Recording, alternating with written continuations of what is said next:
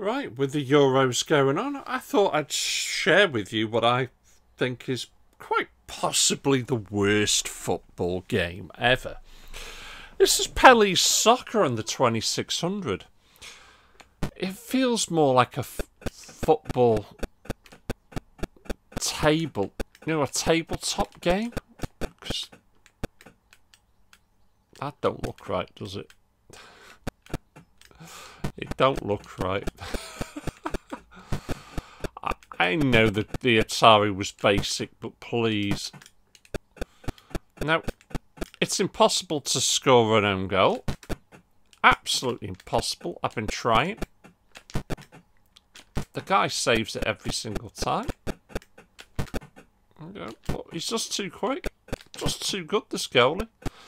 Maybe the sort of goalkeeper England need because it's the only way we're going to progress in this bloody tournament is by the keeper keeping everything out. But as you can see, you cannot get it past the keeper.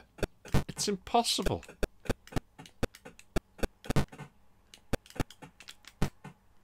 Every time he saves it. Every time. Anyway, let's get it up to the top. Oh, God, my word just dribbled it. It's a two-player game, if you hadn't guessed. You can't play this on your own. It's not a single-player game. Right, let's score. Oh, I'm probably too close there now. Let's pull it back a little bit. Because if I don't get this right, I'll only have to start all, all over again. Yeah, that'll do. That'll do. Best thing about the game. Right, hope you've enjoyed that.